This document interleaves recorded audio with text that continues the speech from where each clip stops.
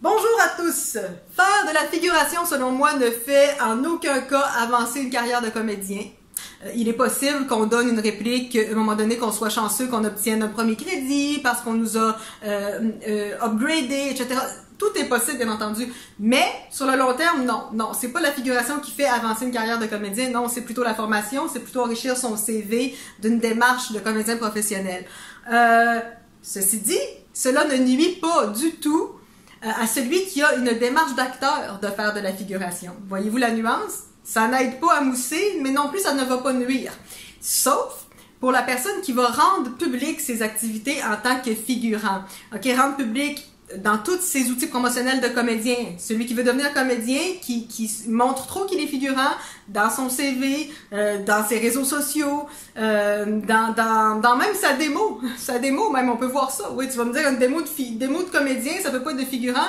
Non, je vois des choses qui relèvent de la figuration. C'est important que nos outils reflètent, reflètent ce qu'on veut avoir comme carrière de comédien.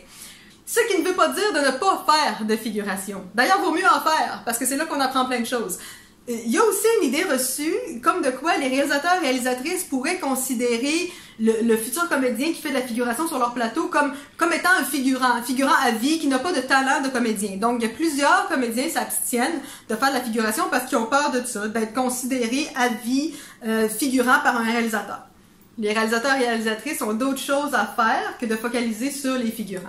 C'est à peine s'ils nous voient, en fait. Même s'ils nous ont vus dans leur moniteur, même s'ils nous ont salués en personne pour être gentils, le, lendemain, ils s'en rappellent pas de ça. OK?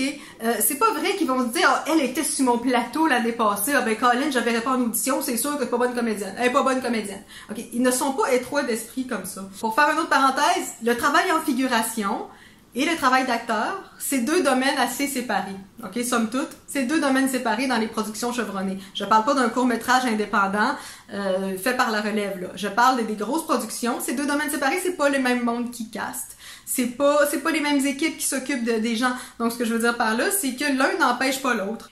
N'hésitez pas à liker si vous aimez ce genre de sujet de vidéo. Euh, veuillez consulter mon site internet pour euh, mes services de coaching et de conférences sur la carrière artistique.